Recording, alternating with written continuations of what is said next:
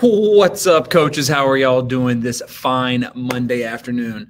Uh, do you struggle throwing the ball and passing and attacking defenses through the air? Well, in today's video, I'm going to go over a simple way you can do that without using a multitude of tags. And that is what a lot of coaches go to. Now, first, who am I? Well, I am Coach Ron McKie, and I help coaches simplify their offense so they can score more points, have more fun, and win more games.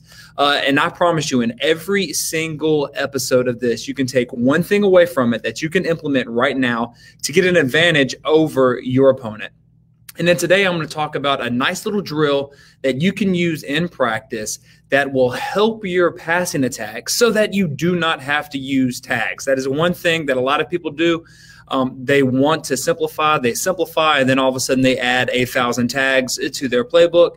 And that expands the playbook and makes things very, very, very difficult. So let's just dive into this. It's a very simple drill. It's a combination of the quick uh, routes on air. And what we're going to do, oh, gotta love going live. Hold on, fellas.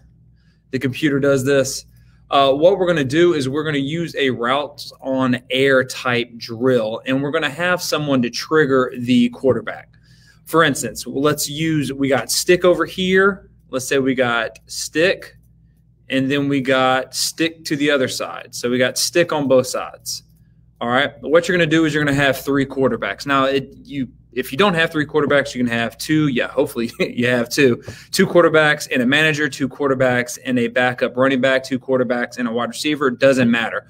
But what we do is let's say this is stick. We would also put a cone out here. And the reason why we would put a cone out there is because this guy right here has to vertical release. All right that's what we're going to do. So we would have one guy. Actually, I shouldn't do that. We only need two. One guy is going to throw this.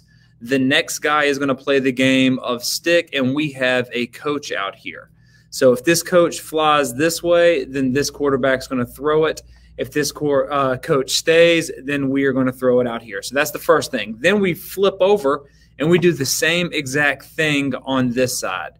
Vert, we play stick right here. So one guy, if this guy threw the stick, and I mean the vert, and this guy throws the stick, then over here, this guy's going to throw this vert, and then this guy's going to play the game right here, and then we would flop them. So we are getting multiple reps over and over and over again. Now, what does this do?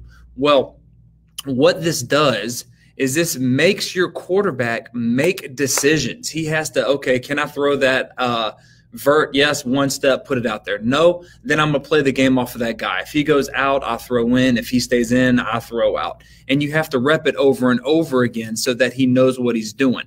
This lets him feel comfortable in that pass so that you, as the coach, doesn't have to add a tag to this play or create a brand new play every single week.